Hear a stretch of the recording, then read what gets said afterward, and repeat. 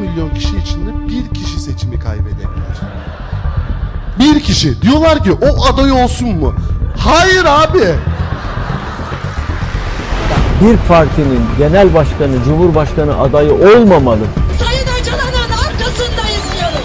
Bir yeşil sana, bir Kemal Kılıçdaroğlu. Ve tabii karşı blokta bütün sol, komünist, sosyalist, ateist fraksiyonların bir araya geldiklerini görmemiz. Zaten açıklama yaptılar. Dediler biz üzerimize düşen sorumluluğu yerine getireceğiz dediler. Biz inanıyoruz. Üzerine düşen yerin sonunu getirecek.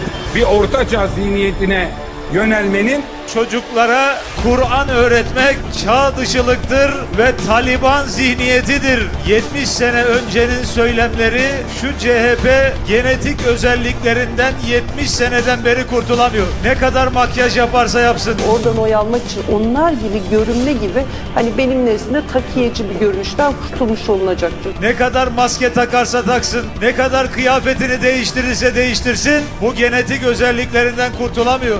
Onu zaten ben hep Thank you. E, yıllardır çul derim. Yani benim Evet, için evet. bir çuldur o.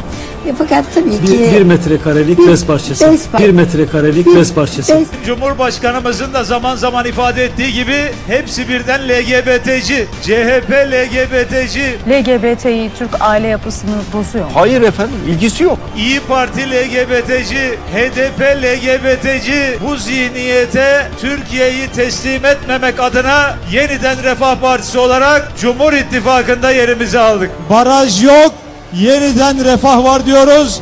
Milli görüş meclise diyoruz. Müjdeler olsun, yeniden refah geliyor diyoruz.